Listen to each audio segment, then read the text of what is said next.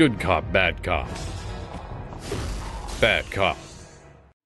مشرد معاق عقليا يلقى حتفه على إثر صعقة بالكهرباء من قبل الشرطة سكادرو يبلغ 54 عاما وهو أحد سكان لوس أنجلوس كان يشارك في مظاهرة ضد شرطة المدينة بعد أن قتلوا كارلوس أوكانا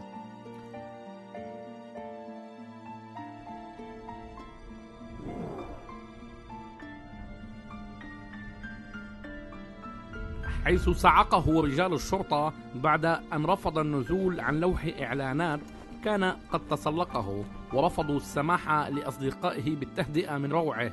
سقط الرجل على الأرض على إثر الصعقة ومات في المشفى. يتم الآن التحقيق بالحادث والنظر فيما إذا كان من الممكن اتخاذ إجراءات أخرى من قبل الشرطة.